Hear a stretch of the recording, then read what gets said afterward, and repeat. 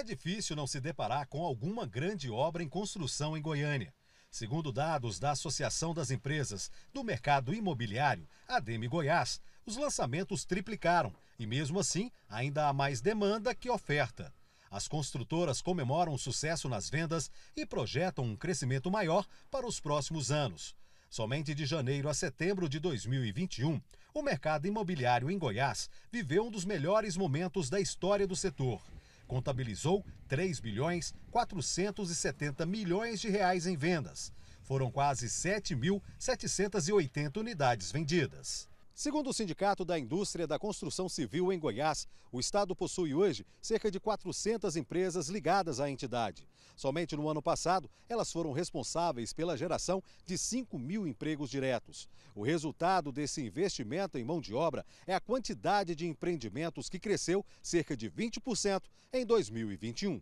Para este ano, devem ser entregues por mês entre 800 e 1.000 unidades habitacionais e comerciais em todo o estado a venda mais ou menos está batendo nisso, às vezes sobe, desce, eventualmente algum mês muda, mas em média é, é, mais ou menos isso. Com a vigência do plano diretor em setembro e com a reforma do Código Tributário, nós estamos criando regras definidas para, inclusive, haja investimento não só intramunicípio, mas fora do município, para o desenvolvimento urbanístico da cidade, principalmente do processo da habitação coletiva para a nossa cidade. De olho nesse mercado, as empresas da construção civil prometem inovar nos próximos anos. Empreendimentos gigantescos estão sendo construídos seguindo novos conceitos de arquitetura.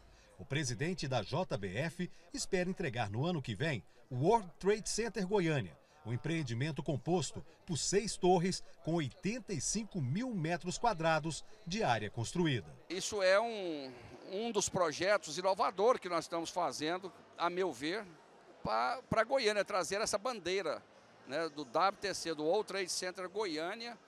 É, tanto o sucesso, a gente acredita, como foi o grande sucesso dos Estados Unidos, do WTC Estados Unidos, né, na América do Norte. Seguindo a tendência de alta na geração de empregos, a empresa Consciente Construtora, que completou 40 anos no mercado, passou de 350 para 800 funcionários em um ano, sem falar nos quase 2 mil funcionários indiretos.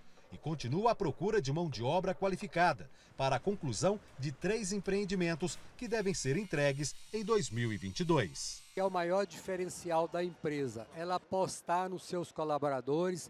Basta crer que durante todo esse período dos dois anos da pandemia, a Consciente Construtora não dispensou nenhum único funcionário. Ao contrário, contratou mais pessoas, investiu. Só hoje nós temos três cursos profissionalizantes lá dentro da obra do WTC. A empresa também comemora os 42% no crescimento nas vendas de imóveis e o faturamento anual que subiu para 72%. Em quatro décadas, já são mais de 770 mil metros quadrados de empreendimentos construídos. A Consciente Construtora está entre as 100 maiores do país e ajudou bastante no desenvolvimento da capital.